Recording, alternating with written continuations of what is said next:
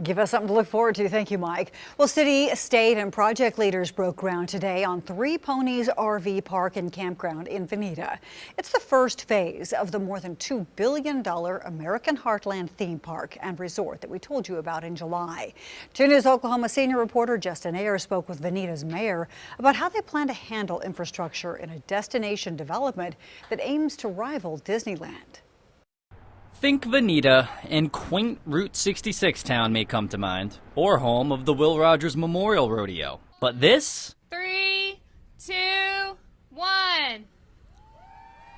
Is a whole different kind of attraction. I think we're going to have a lot of humps and bumps, and but I think the outcome is what this area needed. Terry Thompson lives in Afton, west of Vinita, and says she's tired of seeing towns out here drift away. The land, which will be home to Three Ponies and American Heartland, could have drifted away west of Grand Lake near I 44 and Route 66, but Vinita Mayor Josh Lee says it'll be a long lost welcome. Anybody that might have been doubters, now they're like, okay, it's here. Just look around. There's lots of work to be done between roads, electric, gas, and building construction. Lee says a fire and police department will be built nearby, hopefully before the park opens. It's all just got to be sustainable for a projected 315,000 guests a year. Getting the infrastructure built out is going to be the hardest hurdle, um, for sure. I mean, that's no no secret.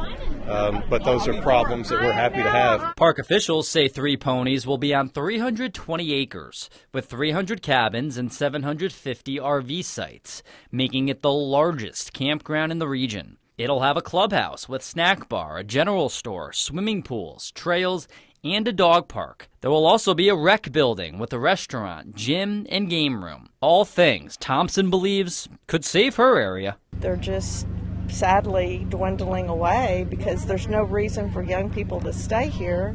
There's no jobs, and I think this is going to improve all of that. Three Ponies RV Park is slated to open next year with the amusement park right behind it in 2026.